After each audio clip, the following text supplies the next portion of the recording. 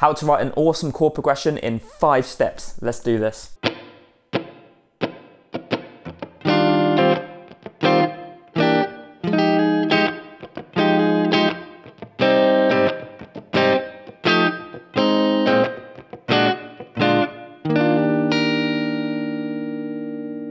Step number one is to establish your key.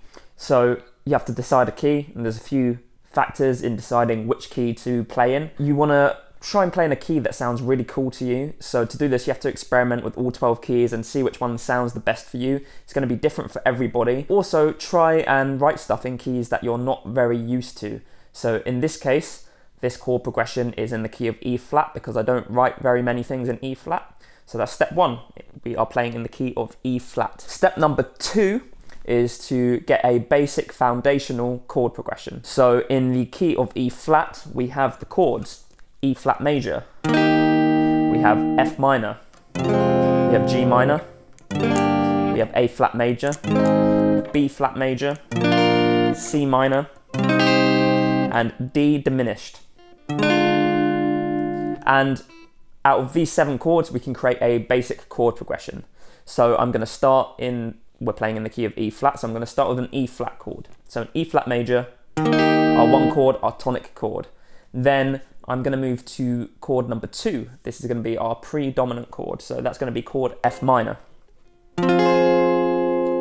And for another predominant chord, I'm going to play A flat major. So currently we're at one, two, and four, and then going to finish up with a dominant chord, which is chord number five, which is B flat. So altogether, our basic foundational chord progression is E flat, F minor, A flat, B flat. And if you're not sure what I was talking about when I was saying tonic, predominant and dominant chords, I've done a video explaining that, which you can check out up in that corner over there. So that is step number two, basic foundational chord progression. Step number three is to extend these chords. So when I say extend these chords, I mean we're adding sevenths, ninths, elevenths, thirteenths to these chords. As you heard in the chord progression, I wasn't just playing major and minor chords, I was playing some quite fancy chords. Uh, these are just gonna add a little bit more pizzazz to your chord progressions. So for the first chord, the E flat major, I played an E flat 6-9 chord. I really like the E flat 6-9 because it sounds pretty sophisticated and it doesn't sound too jazzy. Then for the chord number two, uh, F minor, I played an F minor 9. Now for chord number two, you could play an F minor 11. You could also just play a standard F minor 7. There's a few different options, but I chose an F minor 9. For chord number four, I played an A flat major 7. So it's a little bit more fancy than just a standard A flat major chord, but not too fancy, just a seventh chord. I figured if I made it any more complex than that, it would just sound a bit overkill if I used the 13 chord or something. It just wouldn't really suit the chord progression. So A flat major 7. Mm. And then for the B flat chord, which is chord number five in our key, I played a dominant 11 chord. This is my favorite chord to use as a dominant chord. You could play a dominant 7, a dominant 9, a dominant 11, dominant 13 if you wanted to, but I chose a dominant 11. So altogether, we've got E flat 6 9, we've got F minor 9, we've got A flat 7, major 7, and we've got B flat 11. So that's step number three, extending your chords. Step number four, so step number four is to add passing chords into your chord progression. So what are passing chords? Passing chords are simply uh, chords that are not the core foundation of your chord progression, that go in between the primary chords of your chord progression, so to speak, and they add a little bit of spice, a bit more movement in your chord progression, and they just help things sound a little bit more interesting, I guess. The first one I used was in between our E flat 6 9 and our F minor 9. And what you can do is when two chords are a tone apart, so the roots are a tone apart, so in this case, E flat and F, then you can place a diminished chord right in the middle there, so an E diminished chord. So then the root notes are going E flat, E, F. E flat, 6 9, E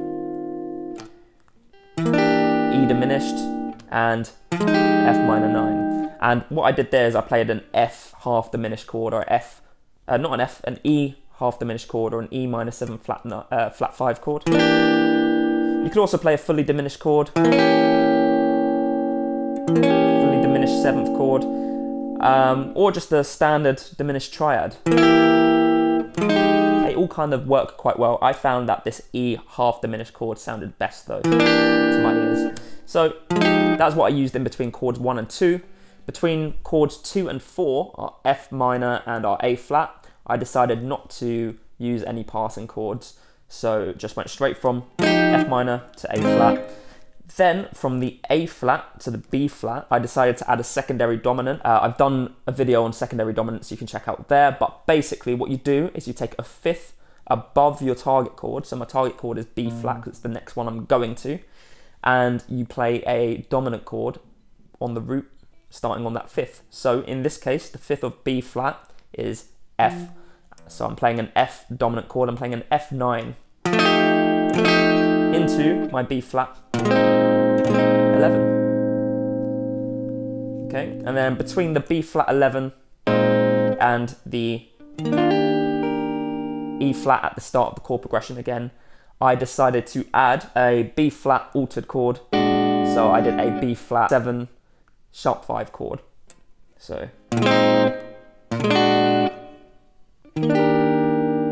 should sound like that. So all together with the passing chords in between our primary chords.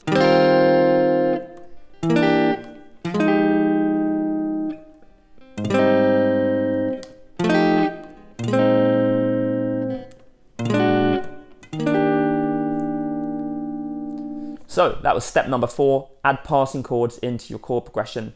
Step number five now is to add a melodic element to your chord progression. So this doesn't mean adding melodies on top of your chords. This means uh, adjusting and changing the top end of your chord progression or your chords to just add a little bit of a melodic element within the chord itself. So you can do this with what are called suspensions. So what I'm doing here with this B flat 6 9 chord is I've got a little finger free and I'm playing the seventh of the chord. So I've actually got a just a E flat 9 chord here and then I'm taking my little finger off to get the 6 9 and it's called a 7 6 suspension because we're playing the 7th and then moving it down to a 6th. It's called a 7 6 suspension. You've got all types of suspensions, you've got 9 8 suspensions, you've got 4 3 suspensions. If you'd like to see a video on suspensions, let me know down in the comments. But yeah, that's what I did there. So we play an E flat, 7-6 suspension into the 6-9 chord. Okay. Then with the F minor 9 chord, on the ninth, my little finger is on the ninth, and I'm just stretching it up to the third.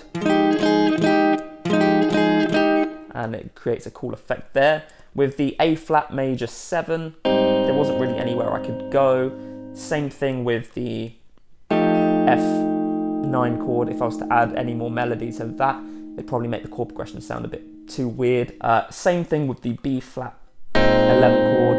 But then when I went to that altered dominant chord, the B flat 7 sharp 5, took that sharp 5 and then brought it down to a standard fifth make uh, just a standard dominant 7 chord.